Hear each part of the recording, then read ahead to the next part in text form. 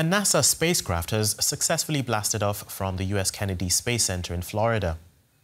One, ignition, and liftoff.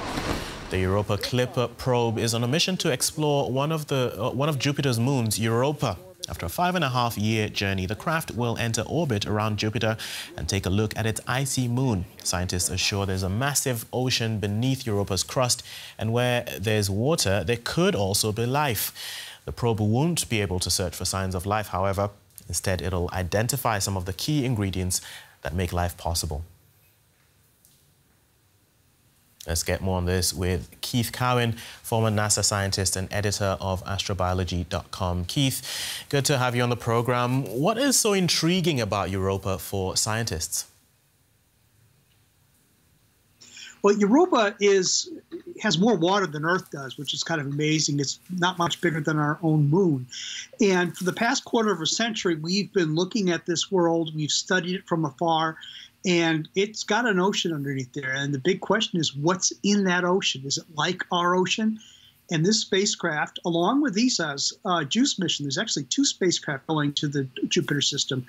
They're going to be looking at these worlds using radar and whatnot to see if there's an ocean in there, if we can see things on the surface that might say there could, if life was there, it could be supported.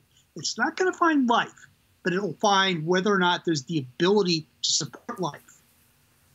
Um, tell us about the challenges, though, that await this spacecraft in Jupiter's orbit. Well, first of all, it's very far away. Jupiter Jupiter's hundreds of millions of miles away, and it's going to take a long time to get there.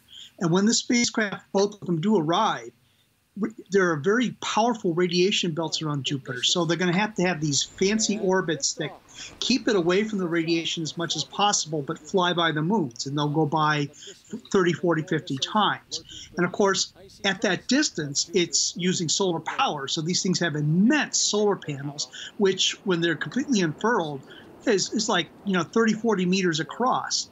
And the funny thing about this is that if there are two ships going on an exploration of a new world, an icy world, and if you look at the ships that we sent to the North and South Pole the first time, it's about the same size, except there's no people on these spaceships.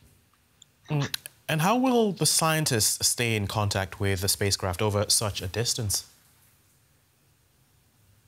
Well, radio. And of course, uh, it's even you've got a large dish, so you can send some powerful messages back and forth. But you're still constrained by the sheer distance and the long period of time it takes for a signal at the speed of light to go from Jupiter to Earth, or a command from Earth to Jupiter. So it's sort of like having a conversation, going out to have lunch, coming home and waiting for the answer. Okay, we'll leave it there. Keith Cowing, always good getting your insights. Thank you.